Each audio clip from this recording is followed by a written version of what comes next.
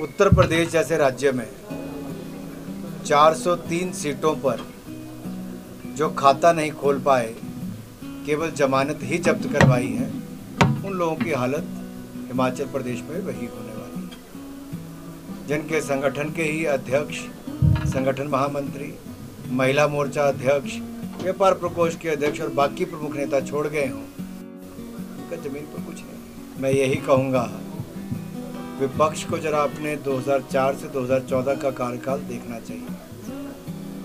महँगाई दर जिस समय 14 प्रतिशत थी, डबल डिजिट में थी। उस समय अंतर्राष्ट्रीय परिस्थितियाँ ऐसी नहीं थी कि दो साल महामारी के गुजरे हों, सप्लाई चेन में बाधा बनी हो रशिया यूक्रेन जैसी वॉर चल रही हो।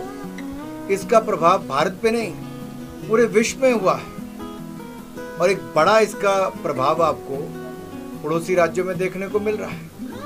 तो पड़ोसी देश, दुनिया भर के देश जहाँ पर पिछले तीस तीस साल में कोई इन्फ्लेशन नहीं थी, महँगाई नहीं थी, वहाँ पर भी महँगाई दर बढ़ी है। क्योंकि कोविड की मार और कुल मिलाकर ये जो युद्ध है इसकी मार सप्लाई चेन के डिसरप्शन के कारण ये ये बाधा, ये व्यवधान ये सब तरफ़ देखने को मिल रहा है।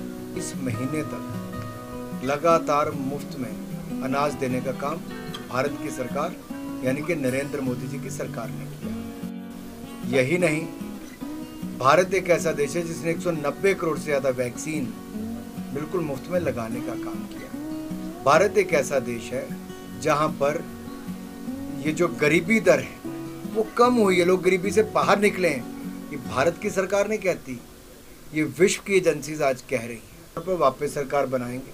पहले से ज़्यादा सीटें बनाए, लेकर बनाएँगे। डबल इंजन की सरकार का लाभ हिमाचल प्रदेश को मिला है।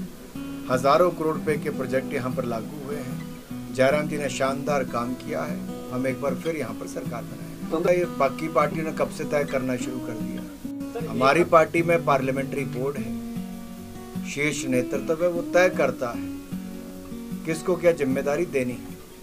और कम से कम दूसरे दल तो हमारे यहाँ तय नहीं करते कि कौन क्या ज़िम्मेदारी संभाले